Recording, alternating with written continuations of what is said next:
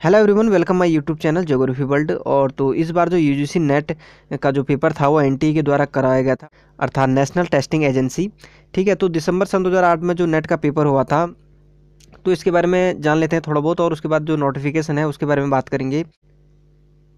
तो देखिए, एक हैं एक हैं, ऐसे सब्जेक्ट हैं। तो जिन सब्जेक्टों पे जो नेट का पेपर है वो कराया जाता है तो देखिए नौ दिसंबर से तेईस दिसंबर तक जो थी नेट की जो पेपर था वो आयोजित किया गया था। ठीक है, इस बार देखिए इससे पहले अगर हम बात करें तो सीबीएसई जो था नेट का पेपर करवाता था। तो पिछली बार जो पेपर हुआ था नेट का तो सीबीएसई की गुणवत्ता पे कई सवाल उठे थे। तो उसके बाद जो पेपर की जो ज़िम्मेदारी थी वो एनटीए को दे दी गई थी और एनटीए ने इस बार जो नेट का पेपर करवाया था। तो इस बार जो असिस्टेंट प्रोफेसर और जूनियर रिसर्च फेलोशिप के लिए जो पेपर हुआ था, वो कंप्यूटर आधारित टेस्ट अर्थात सीबीटी पे हुआ था। तो देखिए, इस बार जो पेपर का पैटर्न था, उस पर बात कर लेते हैं। तो देखिए, जो फ़र्स्ट पेपर था, वो सभी के लिए कंपलसरी था। जैसे कि आप जानते हैं, उसमें पचास क्वेश्चन थे। ठीक है? एक क्वेश्चन जो था, वो दो नंबर का था और इसलिए जो इनकी जो टोटल पेपर था, वो सौ नंबर का था, क्योंकि उसमें पचास क्वेश्चन थे। दूसरे पेपर की बात करें तो हम वो उसमें अगर क्वेश्चनों की बात करें तो सौ क्वेश्चन थे। और एक क्वेश्चन दो नंबर का था तो इसलिए दो सौ नंबर का जो था। सेकंड पेपर था। टोटल की बात करें, हम क्वेश्चन हो रहे हैं 150 और जो नंबर हो रहे हैं 300 तो 300 नंबर में ही जो है मेरिट बनेगी।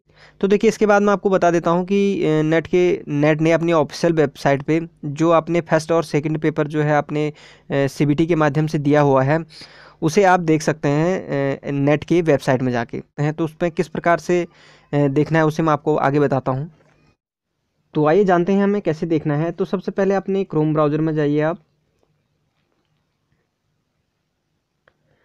क्रोम में जाने के बाद आपने वहाँ जो है वेबसाइट डालनी है N T A net dot nic dot in पे आप जो है, इस ऑफिशियल वेबसाइट जो है यू जी सी की, उस पर आप जाएँगे तो आपको कुछ इस प्रकार का इंटरफेस सामने आएगा।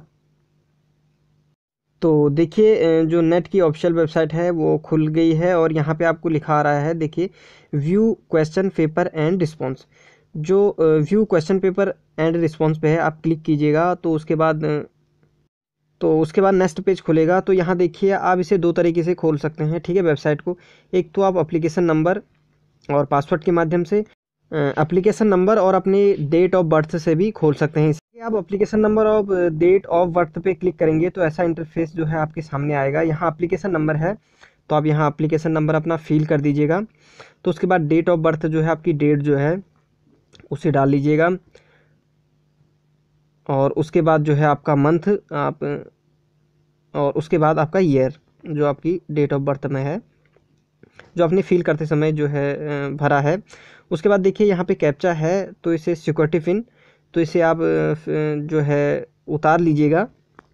इस प्रकार से देखिए एट टी उसके बाद एल है वन टू नाइन देखिए मैंने यहाँ पे उतार लिया है। उसके बाद आप सबमिट कीजिएगा। तो ये जो है नेक्स्ट पेज पे आ जाएगा। और यहाँ आपको नीचे आना है और ये देखिए अपना please click here for display your question paper and your response पे आप क्लिक कर लीजिएगा। तो देखिए नया पेज खुल गया है और यहाँ देखिए आप देख सकते हैं जो आपने यू जी नेट दिसंबर का जो पेपर दिया है, ठीक है, वो अपने सामने आ जाएगा। तो ये देखिए फ़र्स्ट पेपर है जनरल एप्टीट्यूड का तो इसमें देखिए आप क्वेश्चन और यहाँ पे देखिए आपने जो ऑप्शन चूज़ किया है, देखिए यहाँ पे। जो आपने, जैसे इस क्वेश्चन में दूसरा जो ऑप्शन मैंने चूज़ किया है तो उसमें आप देखिए यहाँ पे लिखा हुआ आ रहा है। तो आप इस प्रकार देख सकते हैं। ठीक है, और उसके बाद आगे देखेंगे हम इसमें। ये तो फ़र्स्ट पेपर की बात हुई। उसके बाद आप नीचे आते रहेंगे तो उसके बाद आपको सेकंड पेपर मिलेगा। तो आगे देखिए, यहाँ देखिए तो जोग्राफ़ी का जो यू जी नेट का सेकंड पेपर है जोग्राफ़ी वो आ गया है यहाँ पे। तो यहाँ पे आपके जो आपके क्वेश्चन आए थे, वो देख लीजिएगा। और यहाँ पे आपने जो रिस्पॉन्स दिया था था जो ऑप्शन आपने सेलेक्ट किया था वो नीचे आपको यहाँ पे दिखाई देगा। तो इन्हें आप नोट भी कर लीजिएगा कि मैंने कौन सा क्वेश्चन पे कौन सा जो है ऑप्शन जो है क्लिक किया था। उसके बाद जब ऑप्शियल आंसर की आएगी तो उसके माध्यम से आपको पता चल जाएगा कि मेरे कितने नंबर बन रहे हैं। तो आप इसे पीडीएफ के माध्यम से प्राप्त भी कर सकते हैं। देखिए, यहाँ पे प्रिंट लिखा है, इस पर टच करेंगे तो इस प्रकार का इंटरफेस जो है आपके सामने आएगा।